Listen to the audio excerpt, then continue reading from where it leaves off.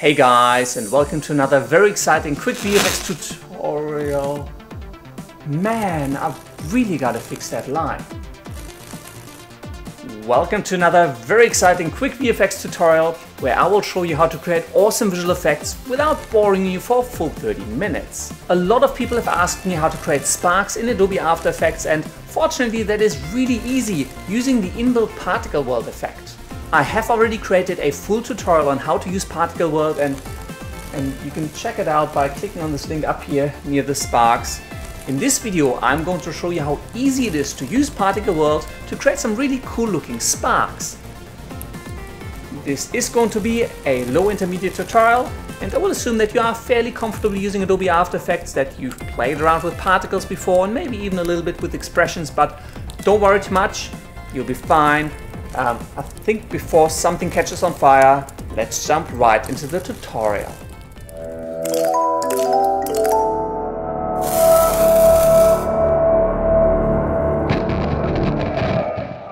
Here we are in Adobe After Effects and as always I am going to start out with an empty composition.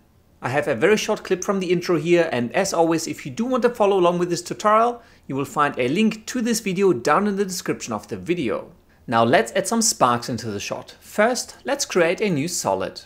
I'm going to call this one sparks and hit OK. Search for and apply the CC particle world effect to the sparks layer. If you scrub through the composition, you can see the default particle world effect right in the center of your composition. I am going to drag the producer up into the top left hand side of the shot and then let's go over into the effect settings and start setting up the sparks. I am going to change the particle type over to faded sphere because this looks a lot closer to what sparks should actually look like. And I'm going to change the size. I'm going to change the birth size to 0.1 and let's change the death size to maybe 0.075. I do want the sparks to slowly get smaller and fade out as they fall. To make the particles fade out a little bit more gently, I am going to open up the opacity map. The opacity map is a simple curve that defines at which point during its lifespan the particles are visible. Now the end of this curve is a little bit steep so I do want to go in here and repaint the second half of the curve to slope off a little bit more gently. This will make the sparks fade out a little bit more gently towards the end of their life. If you've ever watched real sparks, you'll notice that usually when they appear, they're really, really bright. They're almost white. And so I'm going to change the birth color. I'm still happy with the yellow, but I'm going to push it to almost white. I don't want pure white. I want to leave it a little bit off just because it looks a little bit more natural. I'm also going to change the death color a little bit. I'm going to drag it a little bit more into the orange. I think it looks a little bit more natural, but obviously it's up to you and how you want your sparks to look. Let's for the moment jack up the birth rate so we can see a few more of the sparks and kind of get a better feel for what they might look like. I think this is actually not too bad. One thing I want to do, because I want the sparks to be nice and visible, I am going to push up the max opacity to 100%. Finally, I think the sparks are living a little bit too long, so let's reduce the longevity to maybe 0.6. Let's rewind a little bit and play this back. Hmm, the colors don't quite look right to me. I think I will change the death color back more towards red. I think it'll just make the sparks look a little bit more natural. The other thing I'm going to do is I'm going to go over into the physics tab and change the animation from explosive to viscose. Let's rewind our composition and play it back. Cool, that actually looks pretty good to start off. Now let's add some intensity to the sparks. Go and search for the glow effect and then apply it to the sparks layer. Bam! And suddenly our sparks look like they're burning, like they're actually hot. What I am going to do though is I am going to push up the glow threshold a little bit because I think I only want the very bright sparks to glow. I think once they're red I do want them to burn out a little bit. And I'm going to push up the glow radius just to diffuse it a little bit more and I'm going to jack up the intensity as well. One important thing before you start tweaking all of these settings is to go into your project panel and make sure that your project is set to use 32 bits per channel. You can alt click onto this button to cycle through, so 8-bit, 16-bit or 32 bits. If you do want to use the glow effect, I highly recommend change this to 32 bits per channel. Let's go back over into the glow effect and let me push up the intensity just a little bit more. Yeah, cool! Can you see how much intensity we're adding to the position where all of the sparks are being emitted? Let's rewind our composition and play it back. Sweet, that actually looks pretty good. Now, one thing I always like to do when I work with particles, especially fast moving particles, is obviously to enable motion blur in my composition. So let's enable motion blur switch for the composition and for the layer. Let's play this back. Cool, I think I like how that looks. Now, next thing, obviously I don't want the sparks to constantly be emitting. I kind of want something that's like broken electronics that just emits sparks every now and then. And for that, we are going to use a simple expression. In your effect settings for the CC particle world effect, hold down Alt on your keyboard and click on the stopwatch icon next to the birth rate. This is going to bring up the expression editor. Now I am going to assume that you have at least watched my expressions beginner tutorial. If you have not, I am going to link it down in the description, so go check that out first. But let's start controlling how and when the particles are being emitted. In the expression editor type var space random equals random open bracket 0 comma 1 close bracket and semicolon. All this does is generate a random decimal number between 0 and 1 and assign it to a variable called random. In the next line type random greater than 0.8 question mark open bracket random minus 0.5 close bracket star value colon 0 and a semicolon. This looks hella confusing. All this really does say is if my random value generated between 0 and 1 is greater than 0.8, so with 20% probability, set the value of my birth rate to the random value minus 0.5, which will give us a value from 0.3 to 0.5 at the most. Multiply that by the current value that we're setting this birth rate to.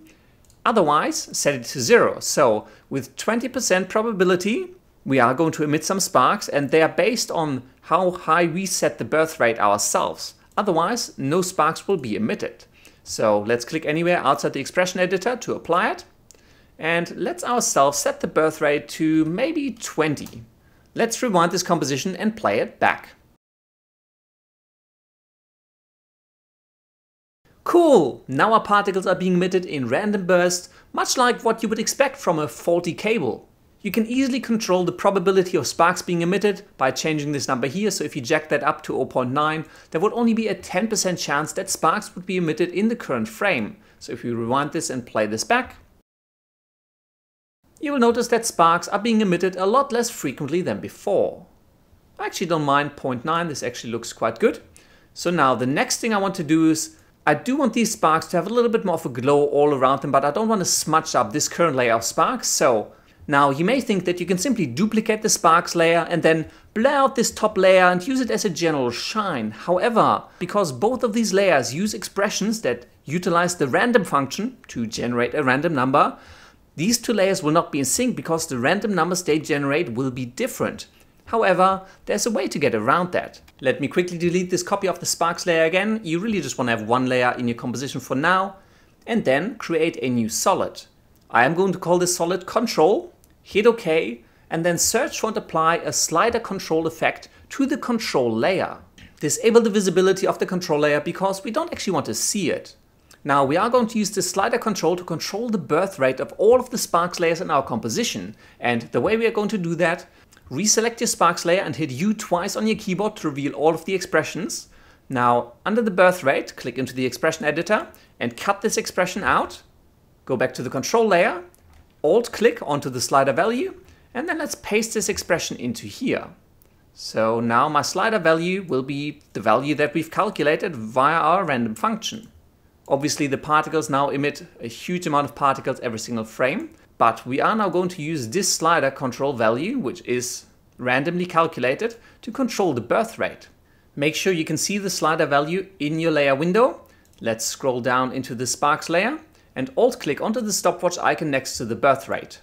Select the pick whip item to select the value of the slider and you will see absolutely no particles appear at all and that is because our slider value is actually still set to zero so even if we are in those lucky 10% due to our expression our value is going to be zero so either way we're not emitting anything so change the slider value to 20 and now if we play back our composition you will see the sparks being emitted again.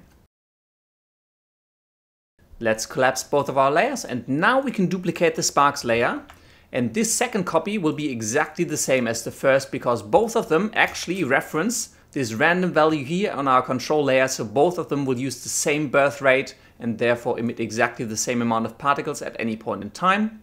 So now let's rename the top sparks layer to sparks glow and let's search for and apply a fast blur effect. Now let's jack up this blurriness to really turn this layer into a very diffuse glow. Mm, maybe not quite 800, maybe we'll go with maybe 5 or 400, um, just so you have a you know really nicely blended and blurred out top layer. Uh, I think I'm also going to jack up the glow intensity and the glow radius for my Sparks glow layer just to add a little bit more intensity to it. Um, again, feel free to tweak this to your liking. Finally, on my Sparks glow layer, I am going to change the blend mode over to add and now if you rewind and play back the composition, cool, that looks pretty good actually. Now one thing I'm noticing is that the color of the sparks looks a little bit too candy, it's a little bit too saturated to look realistic, so let's select the sparks layer and let's search for and apply a hue and saturation effect. Let's bring down the saturation maybe by about 50%, yep, that looks about right. And let's copy the hue and saturation effect and paste it onto the Sparks glow layer as well, so they're both a little bit more toned down and don't look quite so Candyland-like. Let's rewind and play this back again. Yeah, I think those sparks look much nicer, just a little bit more toned down, just a little bit more realistic. Finally, just one last tip before I let you get back to your lives. Sometimes you may need your sparks to bounce off walls or tables or other elements in your scene to integrate them nicely. For example, I have a clip here from one of my really early short films where I created fire with my hands and in this clip you will see that I made the sparks bounce off the table. CC Particle World makes that really really easy. Let's go back to the tutorial and reselect the sparks layer. Now, if you reselect CC Particle World, you will get the axis box and the ground plane showing up. And under the Physics tab, you have a Floor tab. And this actually allows you to control how the particles will interact with this floor plane. Let me just jack up the longevity a little bit so they're actually falling past this floor plane. Obviously, we can kind of move this up as well.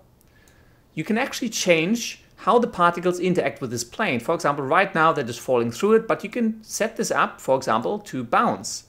If you are wondering why nothing's happening, and this has happened to me a number of times, and I'm not even sure whether this is a bug or by design, some particle animations simply do not interact with the floor.